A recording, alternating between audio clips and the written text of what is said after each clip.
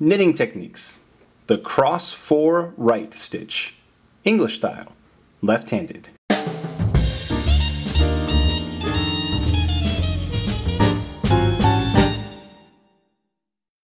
To download a guide with our five favorite tips to improve your knitting right now, visit newstitchaday.com slash 5 knit tips.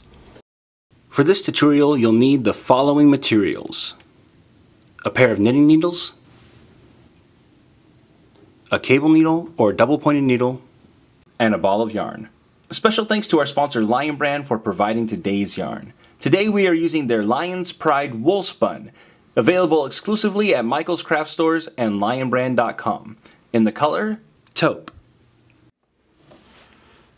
The cross four right, or you might see it called the cable four right, is a cable technique uh, or cable stitch where we are taking one stitch and we are crossing it over three other stitches. In this case, we're crossing it to the right. Now, if you are left-handed, then this will actually cross the other direction. So it'll be um, the equivalent of what would be a cross four left. Um, but you would create it the same way that you do a cross four right, if that makes sense.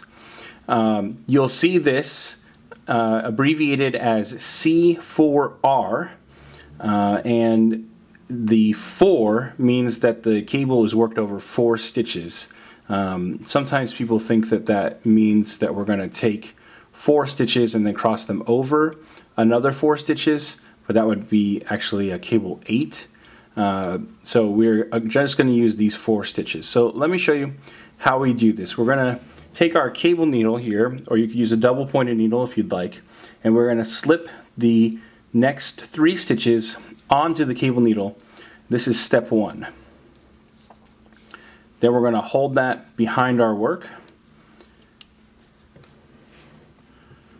And then for step two, we're going to knit the next stitch off of our main needle. And then step three, we will knit the three stitches off of the cable needle. So let me show you how we do this again real quick. Okay, I'm just going to undo these four stitches. And we will place these back on our main needle. When I do cables, I actually don't use a cable needle. I just remove the stitches because they're not likely to go anywhere unless you tug on them a lot. And then I'll just reposition them and then knit them. But we will do this again with the cable needle. We're going to slip the next three stitches off onto the cable needle and then we will hold that behind our work. Okay. Then we're going to knit the next stitch off of the main needle and then we will knit the three stitches off of our cable needle. Alright, and that is going to give us the cable four right stitch. Hey, I'm Johnny Vasquez, founder of New Stitch a Day and your teacher for this tutorial. I want to thank you so much for taking the time to learn from us. If you'd like to see more videos just like this, we produce new content every single day hence new stitch a day. You can click the subscribe button so that you don't miss a single stitch. And if you click one of the links to the side here, you can see the previous stitch in our series or the next stitch in our series. And if you click this link, you'll be able to see one of my favorites.